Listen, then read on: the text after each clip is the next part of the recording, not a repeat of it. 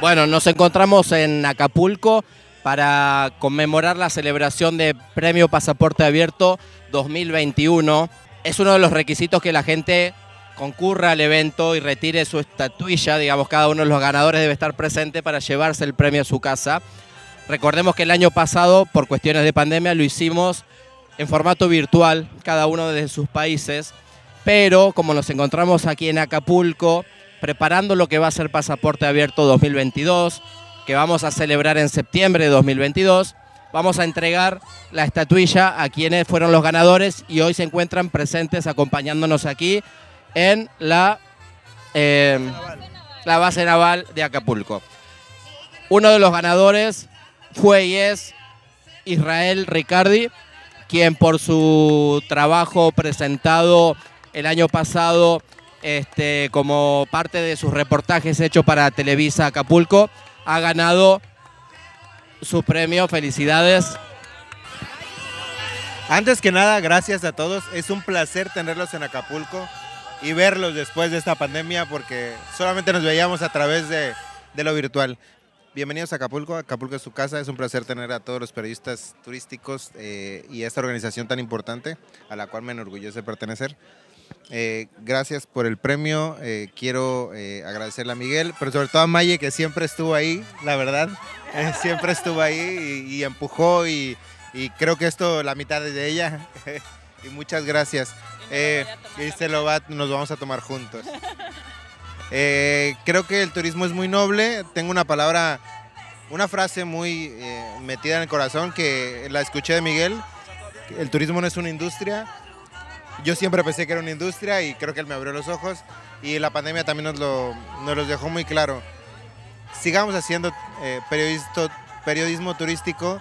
Creo que es un segmento que, eh, o una especialización que está un poco desorientada eh, y que creo que vale la pena eh, que nosotros con fuerza la tomemos y la hagamos eh, más fuerte. Y nos vamos con otro de los ganadores, en este caso una ganadora que ha venido desde Panamá para acompañarnos en esta celebración en Acapulco para llevarse su premio de pasaporte abierto 2021. Ella es Noriega, Isela Noriega, felicidades, bienvenida. Primero agradecer a Miguel porque me sigue haciendo crecer dentro del periodismo turístico, que no es mi profesión, pero pienso que cuando te apasiona algo tienes que meterle todo el empuje para mejorar cada día. Apolo, que fue el que me metió en esto hace ocho años y sigo aquí dando lo mejor. Realmente hacer este artículo para mí tiene mucho significado porque lo hice con mi nieto. Hicimos un recorrido low cost con la MPT, que era el turismo no contagia, y eso se hizo eco en la provincia de, de, Polo, en el Valle de Antón, que fue uno de los lugares que más visitamos en ese momento. Todos pueden ser ganadores en pasaporte abierto, pueden ser integrantes o no de la Organización Mundial de Periodismo Turístico, pero todos pueden participar y todos pueden llevarse una de estas estatuillas. Vamos a ver quiénes ganan en 2022. Nos estamos, ya estamos inscribiendo a aquellos que van a participar en septiembre de 2022 día que también vamos a celebrar el Día Mundial del Periodista Turístico el 5 de septiembre. Y nos vamos con otra de las ganadoras, ella viene desde República Dominicana. Antes que todo, muchísimas gracias a la Organización Mundial del Periodismo Turístico, en especial a Miguel por, por crear una entidad como esta que proyecta tantos valores y que resalta el papel del periodista turístico en, lo que es proyectar el turismo. ¿Qué les quiero decir? O, igual que aquella noche, fue muy inesperado, todavía no lo, todavía no lo, no lo dijeron, como dicen, y hoy lo tengo en mis manos y todavía me siento como que wow.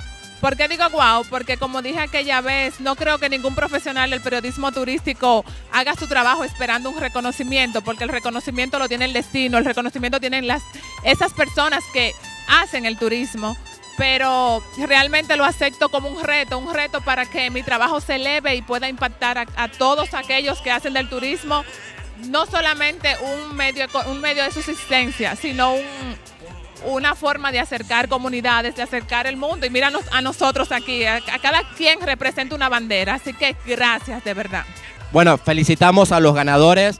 El resto de los ganadores va a tener que venir en septiembre de 2022 para llevarse su estatuilla. Aquí los esperamos junto a los nuevos ganadores de este año. Aquí nos acompaña también uno de los jurados, quien tuvo a cargo el, evaluar el trabajo de todos los participantes. Así que por favor, Luis Polo Roa, le pedimos que se acerque al estrado para decir unas palabras y por supuesto felicitar a los ganadores de Pasaporte Abierto 2021. Gracias Miguel, gracias Maye. Bueno, la verdad que creo que Miguel ha hecho trampa conmigo con esto de ser jurado. No me ha permitido ganar más premios, pero yo creo que lo más importante aquí es que los colegas, los compañeros de diferentes países puedan competir sanamente en presentar sus propuestas de trabajo periodístico en turismo.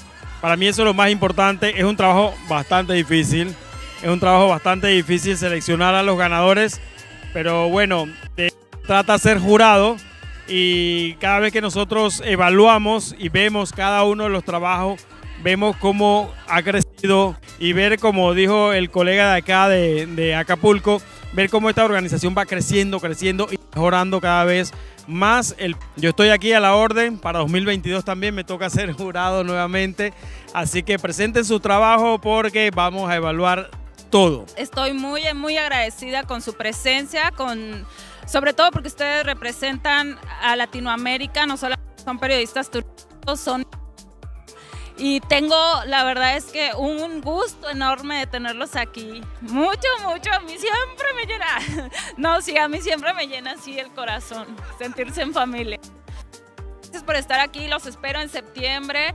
Por favor también traten de, transmitir en todos sus medios de comunicación nuestras redes sociales, OMPTMX, OMPT Panamá, ahí están todos nuestros trabajos. Nosotros como equipo hacemos una gran labor para que todos tengamos ese protagonismo que el turismo necesita. Bueno, y de esta manera nos despedimos desde, las, desde la ciudad de Acapulco, aquí en México, pero con una, la gran intención de reencontrarnos en septiembre, durante la primera semana de septiembre de 2022 para celebrar una nueva edición del premio Pasaporte Abierto, premio al que pueden postularse absolutamente todos los profesionales del turismo, los comunicadores, los destinos y aquellas organizaciones que trabajan para hacer un turismo mejor cada día. Así que los esperamos, esperamos que se inscriban y esperamos que todos sean ganadores en esta nueva edición del premio Pasaporte Abierto 2022. Muchas gracias.